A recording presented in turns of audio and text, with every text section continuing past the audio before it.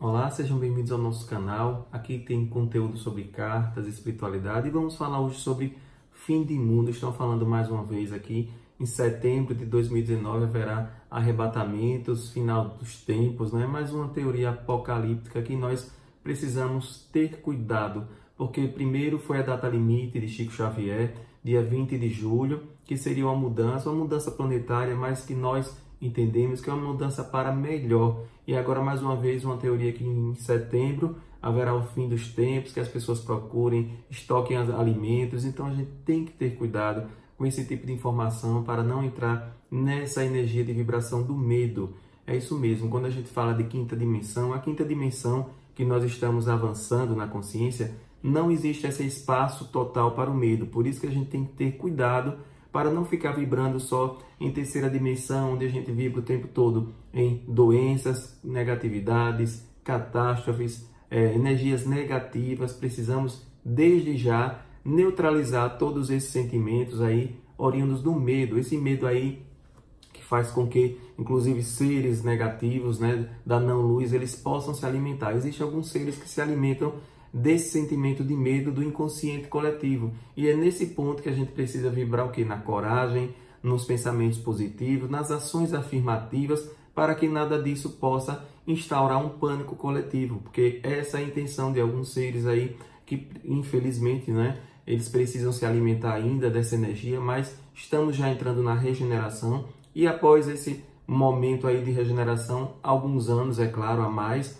o mundo, o planeta Terra, vai passar por um avanço e seres aí que não precisam mais ficar aqui nesse plano, eles vão ser convidados a se retirar para colônias, para é, tratamentos, para escolas aí, para fazer é, a sua expansão também da consciência, esse despertar que a gente tanto fala. As pessoas despertas já compreenderam que não podemos vibrar nesse medo, mas eu falo do medo de forma assim geral, não é aquele medo é, de cautela, não. Né? Porque nós, seres humanos, temos aquele que é cérebro reptiliano, que temos aquele medo assim de, de, situações de perigo.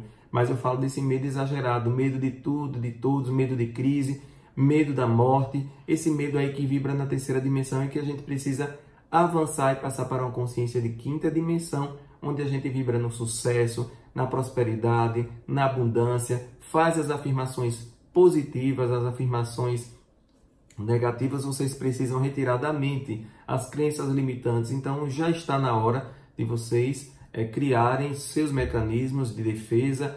Peguem os papéis de anotações, como eu falo, já que algumas pessoas acham que o mundo vai acabar em setembro. Que tal? Vamos fazer um teste? Até setembro, faça mudança na sua vida que você precisa fazer. Por exemplo, peça perdão a quem você acha que precisa pedir perdão. É, dá um abraço aí em quem você acha que pedir deve dar um abraço, é, ligue para as pessoas que você é, nunca mais deu atenção. Então vamos começar a ter um comportamento como se hoje fosse o último dia e não em setembro, né? Você quando dorme, nós vamos dormir, nós entramos numa quarta dimensão de consciência e não sabemos se voltamos. Então, cada dia que a gente acorda é um novo dia, mas vamos aproveitar, viva como se fosse o último dia e faça aquilo que você precisa fazer. Faz esse teste aí, faz 21 dias em 21 dias, faça a mudança que você quer na sua vida, com as afirmações positivas, como eu digo, sempre colocando a palavra eu sou na frente, eu sou prosperidade, eu sou caminhos abertos, eu sou paz,